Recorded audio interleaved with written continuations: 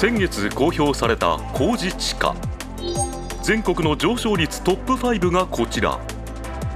住宅地商業地ともにほぼ独占したのが北海道の北広島市。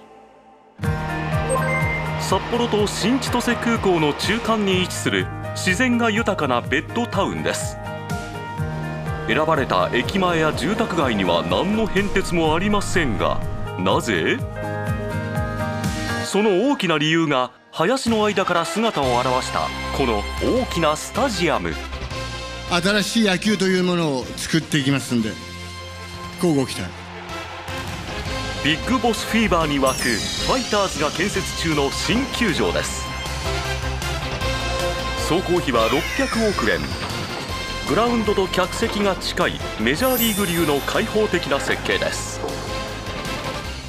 バックネット裏席に来ていますホームベースから最前列までは15メートルほどということでピッチャーとキャッチャーよりも近く国内の球場で最も近いということです。手を伸ばせば届くのではないかという迫力があります。球場には世界初というサウナやクラフトビールの醸造所も。野球以外も楽しめるまさにボールパークです。まあ、新庄さんじゃないですけどもそういった既成概念をあの突き破るようなことは今後もしていきたいな。ボールパークの着工は2年前。球団の要望で2023年3月の開業が決まりました。工事に許されたのは32ヶ月。異例の短さでした。この積雪の中での工事っていうのはえっと、効率もやっぱり低下しますんでそれを考慮すると非常にあの工程というのはタイトかなと。厳しい冬と工程短縮の両立。その最大の難所が屋根でした。屋根が開く天然芝球場は日本初。球場の上で屋根を組む一般的な工法では屋根の工事の間観客席などの作業で使う重機が中に入れません。そこで採用したのがスライド工法です。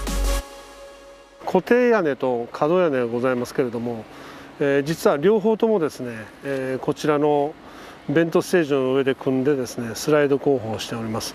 まああの大型の屋根をですねこうダブルでスライド工法するということについて非常にやはり例を見ないというようなものですんで特許工法を取っております。実際の映像がこちら球場横の作業場で屋根を組み球場側にスライドしていきます。去年8月から組み立ての始まった可動屋根は4つのブロックに分け段階的にスライド。今年6月に終わる見込みです。可動屋根に使う鉄骨の量は東京タワーの2倍以上。重さにして1万トンを70メートルの高所で動かす前例のない工事となりました。屋根を作りながら球場内の作業も同時並行できたことでこの冬の大雪でも工事に遅れは出ていないということです。この新球場はプロ野球の球団が自ら球場を作る初めての事例でこれからのスポーツ施設のモデルケースとなります。さらに今回のスライド工法は大規模な施設をいち早く客に届けられるという最大のメリットがあります。他のエリアや他の建造物にも応用できこれから広がりそうです。国内で今後新設や建て替えの構想があるスポーツ施設はおよそ100件北国の逆境が生んだ工法が新たな建設モデルとして広がりそうです。